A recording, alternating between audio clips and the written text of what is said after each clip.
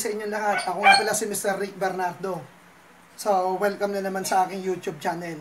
So, sa araw na to, ang ipapakita ko sa inyo, yung mga nasira nating automatic na washing machine na iisa lang ang motor, i-convert natin sa manual na washing machine. So, kaya lang madadagdagan na siya ng wash timer. Meron tayong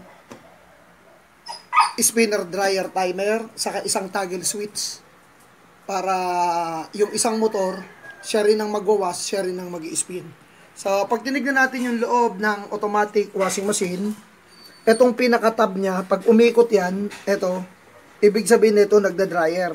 Lakat. Pag ang umikot naman ay yung pulsator, ibig sabihin niyan ay nagwawas. Pag nagwawas, ito umiikot. Pag pag nagda-dryer, yung buong tab na to. So ngayon, ang nagiging problema natin kapag nasira ang automatic washing machine ay halos hindi na ito magawa. Ang kailangan na ay service center dahil yung mismong buong board nito ay papalitan. Na minsan ay hindi na ipinapagawa ng ating mga may-ari dahil sa sobrang mahal ng singil. Hanggang sa maluma na lang doon sa kanilang tahanan. So ngayon, ipapakita ko sa inyo kung paano natin gagawin. Kaya lang, iwa-wiring natin lang dito sa aking uh, lamesa.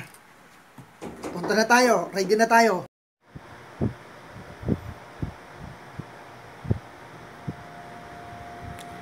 Okay, so ito yung ginawa kong uh, automatic washing machine na gagawin nating manual washing machine. Yung original na motor pa rin ang ating gagamitin siya ay magpapunction ng wash at the same time siya rin ang magpapunction na spin motor. At yung original na capacitor pa rin ang ating gagamitin.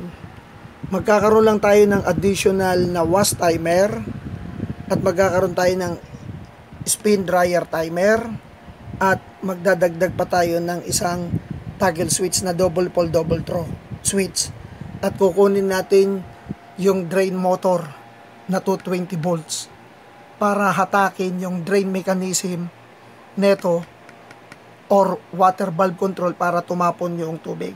Balikan natin yung ating wash timer natin. Magmula dito sa ating mail plug na line 1, dadaan yung kuryente, pupunta sa gitna at magsuswitch dito. Pag nakaswitch sa taas to, nakaswitch to sa baba. Pag nakaswitch to sa baba, ang nakaswitch etong nasa taas. So sa mga tweed, yung line 1 dito pupunta, papunta doon. At masusuplayan ng kuryente yung line 1 or common ng ating motor. At sa kabilang side naman, yung line 2 natin, dumaan ng fuse para meron tayong protection. Dito ngayon nakakontak yung toggle switch, pupunta sa baba yung kuryente, pupunta dito, ang line 2 pupunta dito, papunta sa common ng timer. At kapag pinihit natin tong timer na to at nag-select dito, yung motor ay iikot ng pakanan. At maya-maya, pag nag-switch naman dito sa kabilang side na to, iikot ng pakaliwa. Ibig sabihin, pag gumagana ang wash timer natin, gumagana yung motor ng pakanan at pakaliwa at iniikot niya lang yung pulsator ng ating washing machine.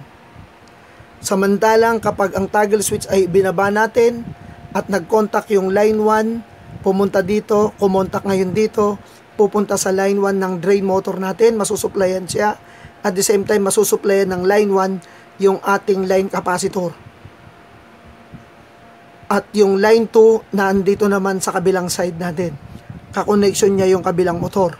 So, ito yung line 2 natin, nasa fuse, kumontak dito, naglagay tayo ng spin dryer timer natin, nag-contact to, sa yung line to ay dito pumunta. Diyan papunta to dito. Yung line 2 kumontak dito. So yung dating line 1 siya yung magiging line 2 para masuplayan ngayon eto ngayong motor na to. Kaya kompleto na. Nasuplayan na natin ngayon yung motor natin na gumana yung spin dryer natin at drain motor natin umikot lang to ng pakanan at yung kabuuan ng tab ay iikot yung kasama yung pulsator na ibig sabihin hinatak na ng drain motor mechanism natin kasama yun, merong gear sa loob yun. So, nakapag nakaselect tayo sa dryer natin, automatic yung drain motor natin ay i-open niya yung gate valve para tumapon yung tubig natin. So, ayan po yung basic wiring connection ng automatic washing machine na gagawin nating manual. So, ngayon, pagdating dun sa ibabaw ng ating washing machine, kayo na ang bahalang dumiskarte, bubutasan natin yung dating mga soft touch na pihitan dyan o pindutan, bubutasan natin doon kung saan komportable. Lagyan ng wash timer, lagyan ng dryer natin, ng radar ng toggle switch na pag nasa taas ay wash, pag nasa baba ay dryer at the same time drain. Then butas ulit tayo para sa ating spin dryer motor natin or timer natin. So, ready na ba kayong lahat? I-actual na natin to para mas lalong mas maunawaan nating ang, ang wiring connection. Natin na drain motor. So, 220 rin to. Na kapag nasupplyan to, ito ay hahatakin niya ngayon papunta ng drain mechanism or water control valve. Diyan pupunta ngayon yan. So, para yung tubig tatapon habang nagde-drain. Ito na yan. Ito naman yung ating timer ng spinner natin. Ito naman yung wash timer natin. Ito naman yung motor natin. So, kitang-kita naman. Sa unang video ko ay ipinakita ko naman yung connection na ito. So, yellow, yellow. Yellow pa rin dito. At ang common ay ito. So, ito na ngayon yung common. So, ito ngayon dito i-connection. Dito naman yung kabilang. So, para umikot ng pakanan at pakaliwa. So, kung ito yung line 1, ito yung line 2. Pag sinaksak sa 220, iikot na yan. Ito yung toggle switch natin. Iko-connect ako ngayon yung toggle switch natin dito sa ating linya ng kuryente according sa diagram.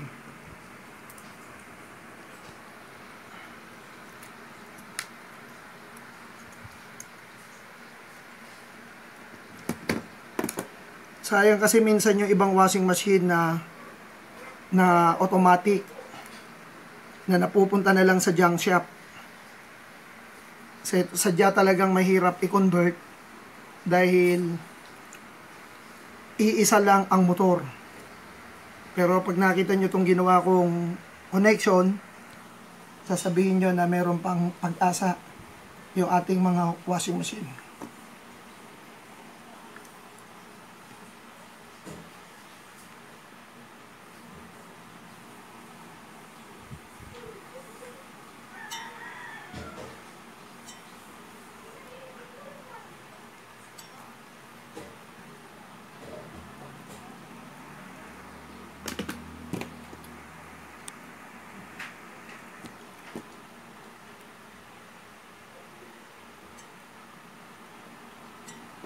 Tapos bibili na lang tayo ng auto type fuse. Puputulin na lang yung isang linya para magkaroon tayo ng fuse sa ating line 1 at line 2.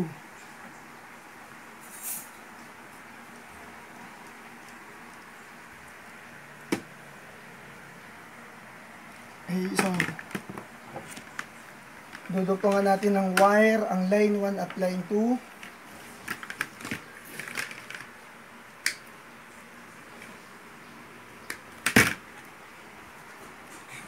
Ito na yan.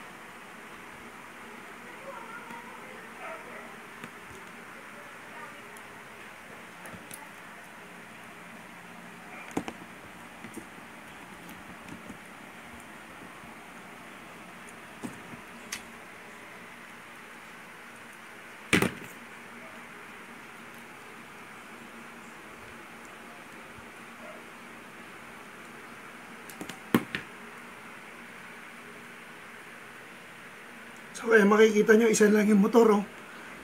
Pero magiging dalawa pa rin yung function yan.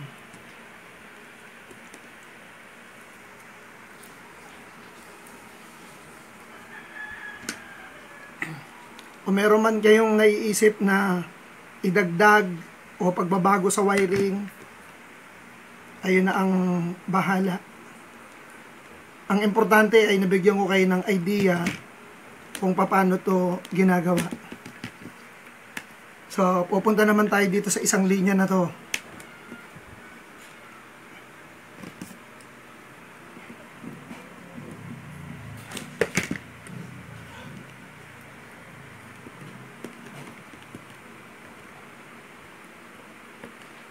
Iko-connecta natin tong ating ah, drain motor.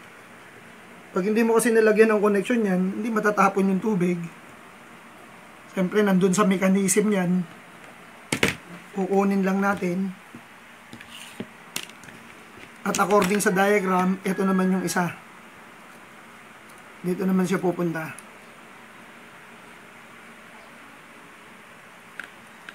At lalagyan ulit natin ng isang wire.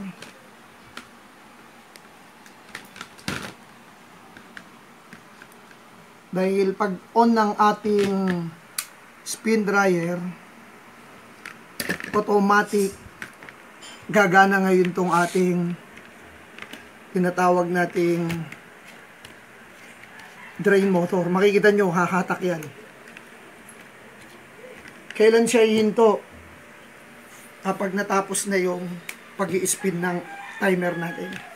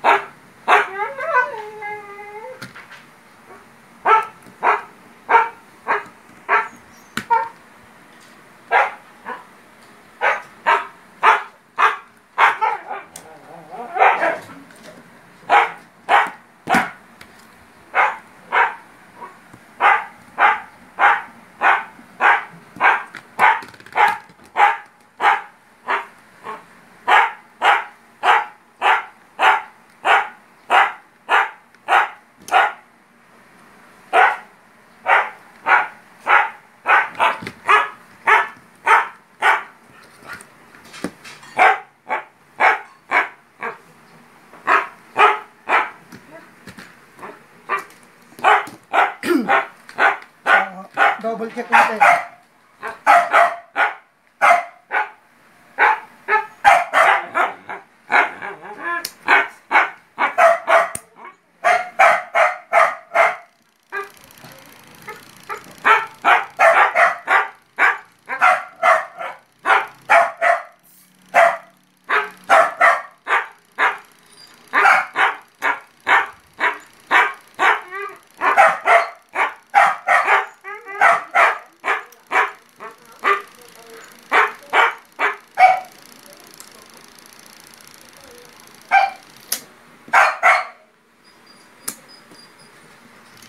Hindi gumagana. Paganahin ko yung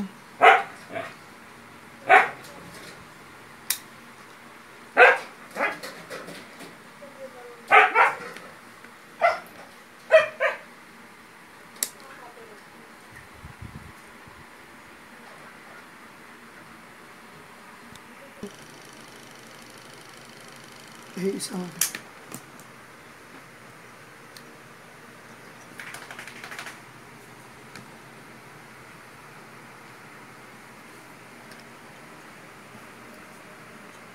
Tan lang natin tong wire na to.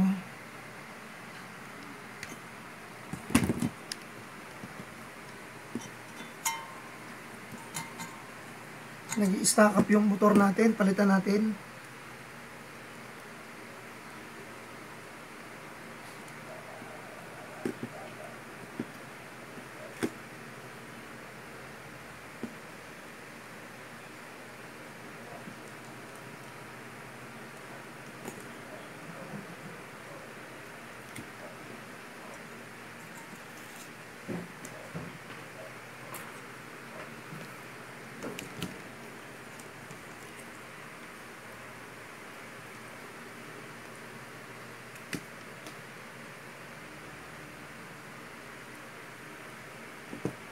Ito ulit yung common natin.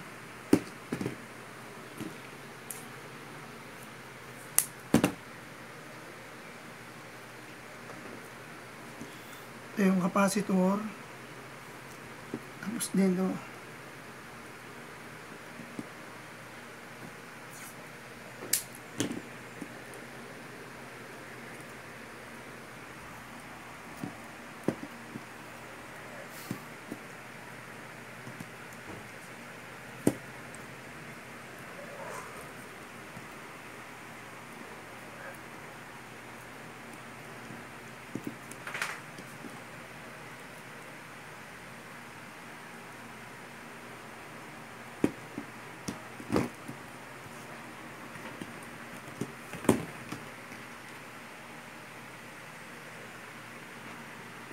Was timer.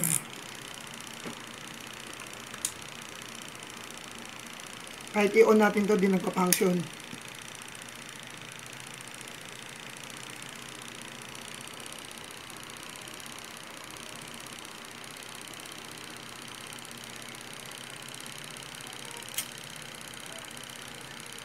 Forward. Reverse. Okay, isa. Papatayin ko ngayon to. Isa-switch ko yung toggle switch. Gagana naman to. Ito pa rin yung umiikot sa atin.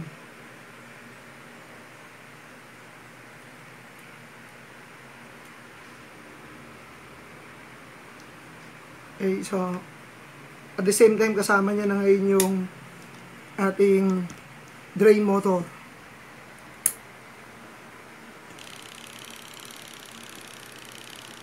Okay, so testing natin.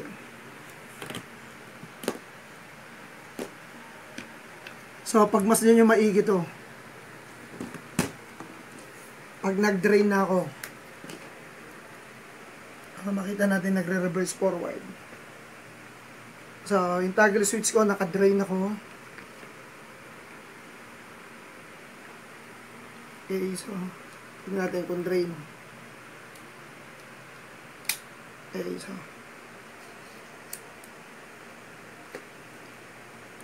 Magwawas muna ako, was.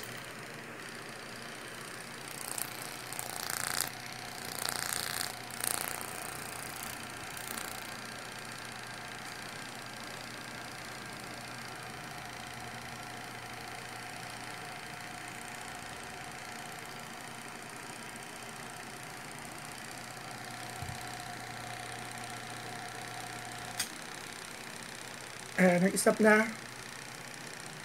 Ikot na yan, nababaliktad. Ayun. Okay, pabaliktad naman. So, pag natapos ang maglaba, ang hinahatak na kanina ay pulsator, yung buong tab ngayon ang hahatakin. Sa tulong na itong ating drain motor, hahatakin niya yung drain mechanism or water control valve natin. Dito, ayun o, hinatak ko. Oh. Hinatak. At the same time, i-on natin ngayon. Ayun. Nag-on na siya.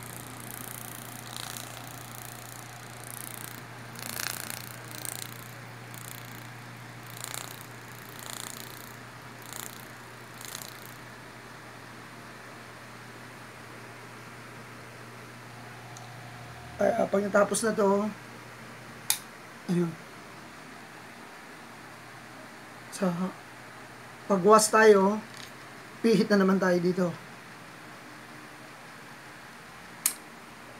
Was.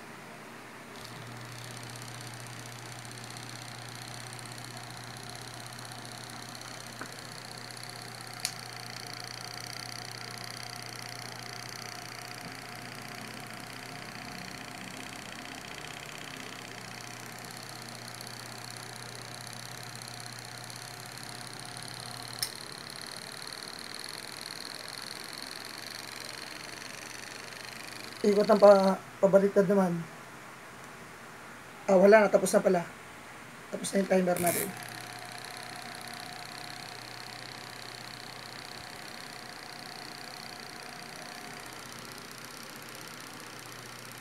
So, isa pa.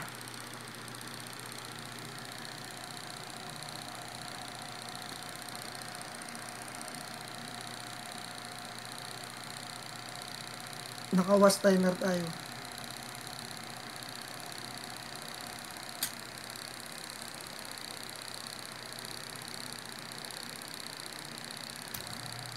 Okay, so good. Sample tapos na.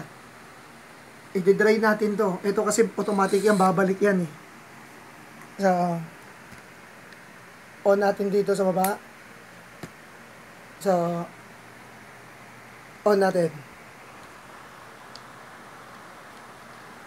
Okay, isa, isa pa. Ayun. Naka-drain na ako. Sabay, paikutin na natin to. May ikot na. Okay, finish natin. Another, pwede nating gawing pag inon natin yung timer natin, saka lang gagana to. Pwede nating ilipat yung wiring natin dito sa kabila. So, kung kailan lang mag-on. Okay, sa tignan natin.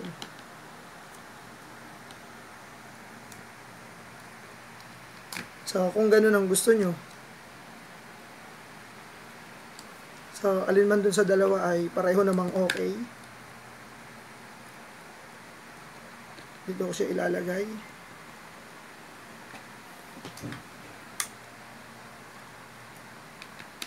Binaliktad ko lang. So, tignan nyo. Naka-drain na ako niyan. I-on ko to.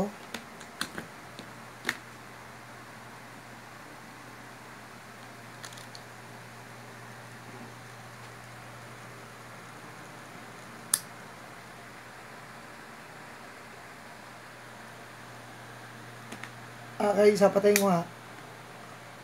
Okay, isa baliktad ulit pala tayo. Baliktad tayo.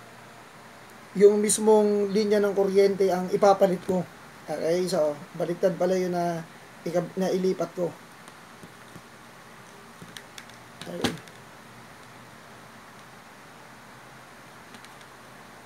So, ito ang ililipat natin dito. Sa kabila.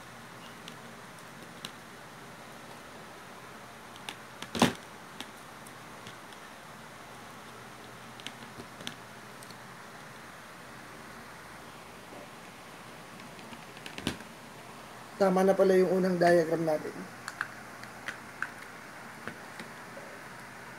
So, ataking ko ulit to. So, patay. Patay yung motor. Patay ito. I-on ko to. Saka lang humahatak to at the same time. Umikot. Okay, so, na-correct na natin. Okay, so, papatayin ko.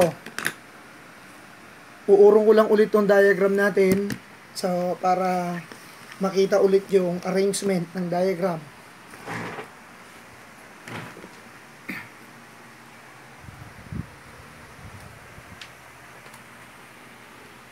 So, yung mismong common natin, dito umiikot yan. Pag ganun.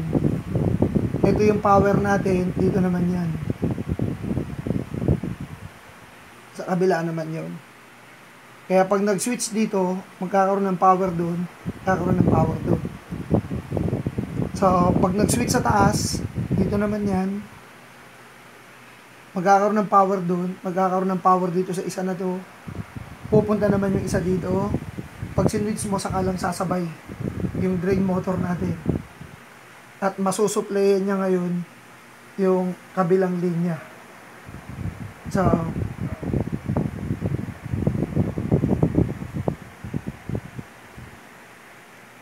So, yung line 1, dito nagpunta, dito naman mapupunta ngayon tong isa. So, ito yung correction natin. Ayan, diyan pupunta. So, spin dryer, drain motor, wash timer, aprobado, nagawa natin. Kung meron man pagbabago, kayong naiisip, depende sa model, kayo nang bahalang dumiskarte sa pwede nyong gawin na connection. Lalong-lalo na lumabas na yung washing machine natin na inverter. Ito ay DC motor. Ang pag-usapan natin ay AC motor. Pag ah, DC, panibagong diagram na naman yung gagawin natin. Panibagong serkido. Maraming salamat ulit sa inyong lahat at sana ay meron kayong napulot na idea sa aking ipinakita ngayon. Kinonvert yung automatic na washing machine papuntang manual na washing machine na parehong isa lang ang motor ang ginagamit. Okay, so salamat po sa inyo lahat.